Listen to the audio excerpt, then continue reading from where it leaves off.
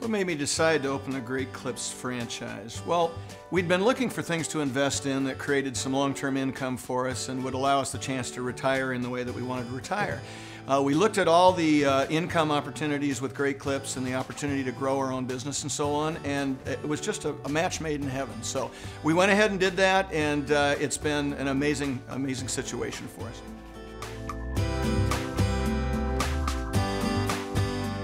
Uh, Great Clips is something that you have repetitive income. Uh, you have the opportunity to add other salons so you can continue to grow your organization, which you don't have in other businesses. So it's just a really good overall opportunity for somebody that wants to change their life. I would say it's a great franchise to own, and it's not really a play on words. We really believe that.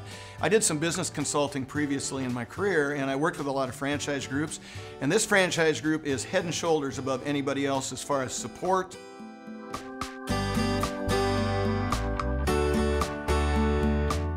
You know, Great Clips offers the opportunity for great income for the franchisees. The support is there, the marketing is there. it, it is just an amazing situation.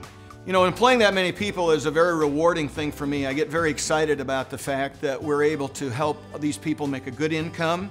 Uh, we do more training here than most franchisees do, and one of the biggest things that we focus on is how do our stylists enhance their income. Uh, and, and we really, you know, we celebrate. My wife and I celebrate when a stylist walks up to us all happy because they bought their first new car or they had a chance to move into a better house or buy their first house.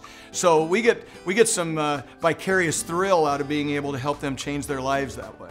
And the other piece for me is um, we've got our family involved. Uh, both of our daughters work full time for us, so it's going to be a multi-generational type business. Uh, we're going to be able to put them in a much better situation and their families will bear the fruit of that in the future. So it's been just really a good thing for our family overall.